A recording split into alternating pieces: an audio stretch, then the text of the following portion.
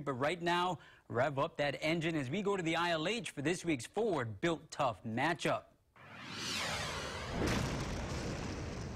Oh, and the F-150 taking the Cam Smith Halawa exit to Aloha Stadium as the defending state champs of St. Louis will collide with number five Kamehameha.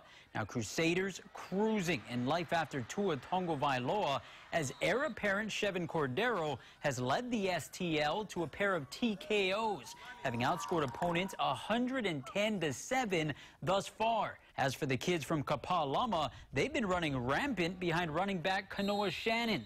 284 yards and three touchdowns in three games. Tomorrow night, one team is McGregor and the other is Mayweather. Who's the money team? Keeping their perfect record intact. Uh, pretty excited. You know, it's just been on our minds lately, entering the ILH, and um, it's a good test for us, see how as a team, and, you know, come out and just do what we do. You know, we're taking this game like any other game, you know, just executing. I need to execute what we have, and, you know, hopefully just execute them against a great team. We're very excited. We've been working hard. We had like two weeks of bye, and we're excited to play. When ILH versus ILH is there's a lot of fire. Like we're all we're all competitive, and it's a good game. It's a great game every time. Yeah, just watching the games, I just want to get on the field again. All of my teammates just want to go on the field and perform already.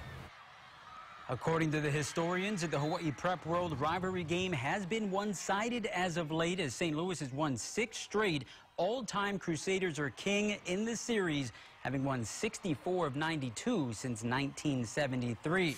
All right, Coach, we talked offense with these two teams, but defense loaded on both sides. We start with the Crusaders. Safety Isaiah Tufaga invited to the Polynesian Bowl earlier today, and for good reason, because this kid's got some major talent. Yeah, there's no question. When you talk about Isaiah Tufaga, that's the son of defensive back coach Wes Tufaga, who was a stud himself. And he has six D1 offers, Rob, from Vanderbilt, Oregon State, Hawaii, UNLV, Fresno. And as you mentioned, invited to play in the Polynesian Bowl. His athleticism. He's played free safety. He goes to the ball when it's in the air. Strong safety, as tough as anybody in the box. And when you talk about football not being a contact sport, it's a collision sport. and this guy likes to collide with people. One of the best hitters in all of high, high school prep football I've seen in at least the last decade.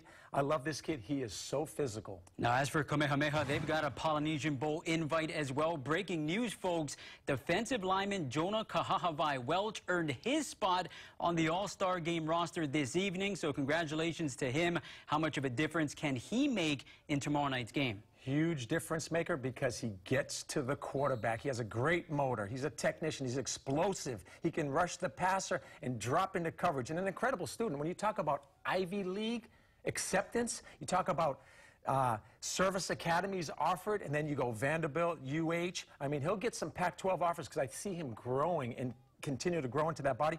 But this is the kind of guy the Polynesian Bowl loves to select because we need to make sure that he gets the right exposure because he's a heck of a kid and a great student. Number 41, future leader both on and off the field. All right, Warriors and Crusaders kick off tomorrow night set for 7.30 at Aloha Stadium. That's following St. Francis and Pac-5, which starts at 4.45. Bows are there Saturday. Ooh, what a weekend in Halawa.